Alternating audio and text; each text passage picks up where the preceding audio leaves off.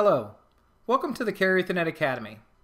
This is a three-part presentation on the Metro Ethernet Forum's Carrier Ethernet Certified Professional Program. In part two, I'll present options for preparing to pass the CECP exam. And then in the third and final part, I'll share with you the fastest way to prepare and become a Metro Ethernet Forum Carrier Ethernet Certified Professional. My name is Craig Easley. I'm the President and Dean of Academic Affairs at the Carrier Ethernet Academy and a nine-time member of the Metro Ethernet Forum's Board of Directors. In part two, I'll introduce you to the alternatives that you have for preparing to pass the exam. These include self-study, online ebooks and computer-based training, and instructor-led training from a Metro Ethernet Forum accredited training provider. At the end of the presentation, I'll show you how you can take our free readiness assessment uh, test and get counseling to help you choose the best way to prepare to pass the CCP exam. In part one, I showed you a little bit about the exam. Uh, the CECP exam is a rigorous 80 question exam that candidates are given an hour and 45 minutes to complete. It's an online exam with multiple choice questions that cover 10 subject topic areas. Candidates must achieve 63% to pass the exam. Those 10 subject um, areas are exploded into more than 200 individual objectives. These details are listed on what's called a blueprint, which is available on the MEF site. The sources of questions for the exam include key MEF specifications, such as the service uh, definition documents, MEF 6.1 and 10.2, the interface documents, 13, which is UNI Type 1, 20, UNI Type 2, MEF26, the ENNI specification. But we also pull uh, material from other standards, including IEEE 802.3 and 802.1, uh, Ethernet and bridging standards, uh, several important ITUT standards, including Y1731, which is the basis for service OAM, and G8031 and 8032, which are protection uh, mechanisms for, uh, for Ethernet networks. And lastly, even uh, the IETF uh, standards are, are covered on the exam, uh, where you need to understand how to encapsulate Ethernet services in other uh, technologies like MPLS. At the end of the exam, you're given a post-exam assessment. Uh, like this one. Uh, this was from a candidate that probably worked in the networking industry because he did fairly well on the access and transport sections, but not so well on the MEF specific uh, section. So this candidate would have needed to uh, uh, to, to re-register for a retake after doing some studying on the uh, on, on MEF concepts. So there are a couple of different ways that you can prepare for the CECP exam. Self-study using available information, self-directed online using CBT, e-training, or e-books, or the gold standard, instructor-led, in, in a classroom or over the web using distance learning tools. So let's look at all three. First, let's look at the self-study tools. Uh, these are all of the information that you really need to pass the exam is available on the MEF website. You have access to all 39 technical specifications and uh, a library of over 20 white papers and other technical documents.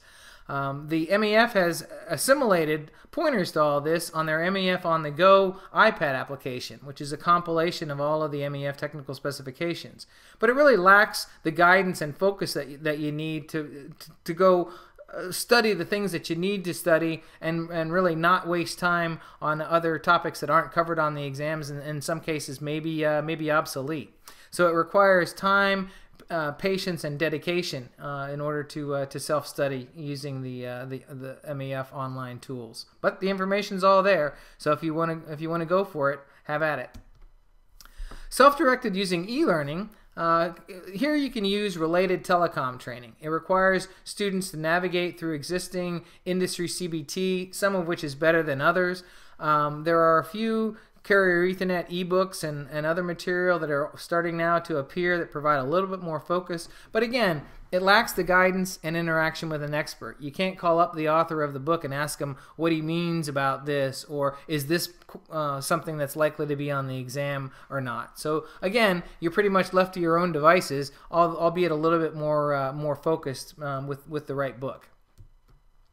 Instructor-led delivery has always been the gold standard. I mean, from the time when that we started uh, uh, kindergarten till we graduated from college. Uh, all of these, all most of the, the, courses that we've taken have been instructor led and, and, and in and in person. So the MEF has developed a network of accredited training providers. These are MEF member companies whose courseware was submitted to the uh, uh MEF for audit and it was approved by um, a, a committee of Metro Ethernet Forum subject matter experts. The performance is being monitored and, uh, and evaluated continuously in real time uh, by the MEF. Performance in terms of how many uh, candidates are coming to their programs and what's the uh, how, how successful are those candidates when it comes time to uh, to take the exam and uh, and pass the test. So when you choose an ATP, uh, I would uh, offer several criteria to look for to make sure that you get the right one. The, the first is experience with the MEF you know, make sure that the that the, accredited training provider uh, is is not just uh, you know a, a, member in name only. That they're actually contributing to the work of the of the Metro Ethernet Forum and, ha- and have been doing um, that for some time. Look also for a company with industry experience, instructors from industry, and not just uh, technical trainers with a new course to teach. Uh, let's, you also want to ask how many CECPs have taken the courses from them, and then what's the pass rate of the students. It's also important to note how long the course lasts, the duration and the tuition cost of the uh, of the course. Probably the duration is the bigger cost because you're talking about days away from uh, your work or you know out, out of the office, and so uh, courses that last a long time uh, and then require additional study, you know, may not be the best. You know, even though their tuition might be low, uh, may not be the best value. And then what delivery options and availability do you have? Do, you know, do they have a network of training centers? Uh, is on-site delivery where they'll come to your place an option? Uh, do they have online distance learning programs uh, so that you can take advantage of the uh, uh, and attend a course over the web? I'd like to uh, invite you to take advantage of the Carrier Ethernet Academy's free 20 question assessment exam to see how you'd expect to do on the real CECP exam. I've written a test that has two questions from each of the 10 subject matter areas, and it's written in the same uh, style, if you will, of the uh, MEF CECP exam. At the end of this test, you'll know that you'll get the results immediately, so you'll know how you did. And we'll uh, provide you with an assessment report and, and invite you to take advantage of our counseling to help you prepare to pass for the CECP exam. So please go to our website and sign up to take this uh, this free assessment exam. I, I, I, think it'll be interesting to see how you do. And please join me for part three, where I'll show you the best way to prepare and pass the CECP exam by attending the Ethernet Academy's boot camp. I'll share with you details on the Ethernet Academy Bootcamp program and talk about some of the delivery options that are available on site, online, in class, but always instructor led. So thank you for your interest in the Carrier Ethernet Academy. I ho hope you found that the, the second part of our three-part video presentation on the Metro Ethernet Forum's Carrier Ethernet Certified Professional Program interesting, and you'll come back and listen to the third part. Thanks again. Bye-bye.